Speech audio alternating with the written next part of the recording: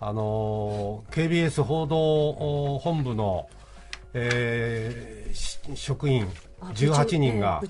長職の辞意を表明したという KBS 社長に辞意を迫ると、はい、これ、このニュース気になったんですけどね。えー、昨日ですね、えー、韓国軍はかなり驚いたと思います、はあ、それは夜9時にですね、まあ、日本の NHK ではニュース9っていうニュースがありますね、えー、1時間の、うん、実は韓国も KBS がそれをやってるんですけど、うん、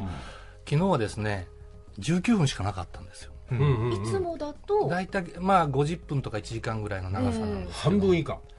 そうですね、ねそれで冒頭、えー、現れた人がその女性のアナウンサー1人です、うん、でいつもいるその男性キャスターも職場放棄です。ああストっていうことですね。そうですね、うん、で、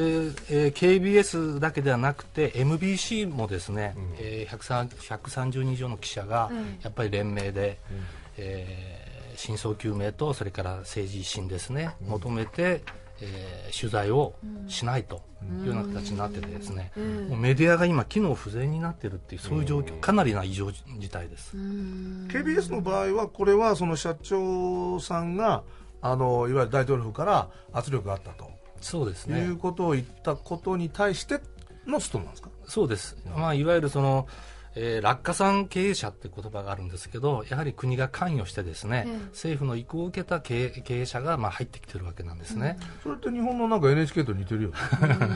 だって安倍さんの意向を受けてももみさんのねもみさんは、と言ったわけだから本当 KBS は公共放送なんですよね。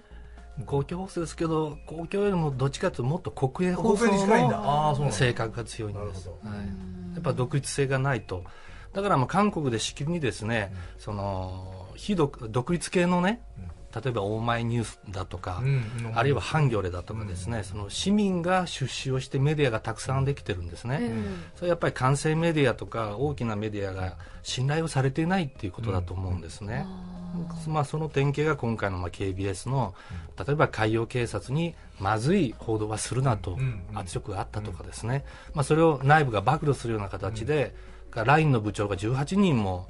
職場を放棄するっていうことは、これは NHK だったら異例ですよ。ですね、これこれはあの小西さんも触れられていましたけれども、これはただ、あの人意表明するんじゃなくて、もっと上を追求しなきゃいけないとおっしゃってましたね。あの僕は一番疑問なのは、もしそういうことを言ったのが本当かどうかということを、やっぱりこれ、この社長をとどめておいて、それで日本だったらその、いわゆる国会で証人喚問とか、えー承認えー、参考人招致とかい。ろいろあるんだけど、はい、そういったそういうプロセスというのはないんですか？あの政府の中に放送委員会っていうのがあるんですね、でそこでまあ人事なんかも決めるんですよ、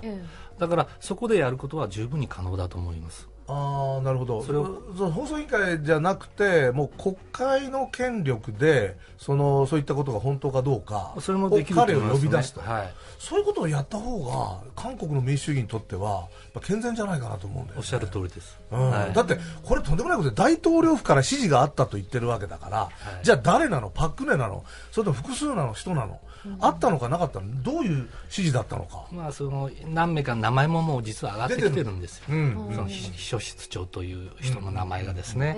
うん、まあ、それは真相を含めて、うん、えー、今後その、まあ、与党が追及するというふうな今、形にはなっていますけれども、まだ国会でやるかどうかというスケジュールは出ておりません。与党が追及してもできないでしょしかし、菅総さん、取材されていて、こういう事態にまで発展するって。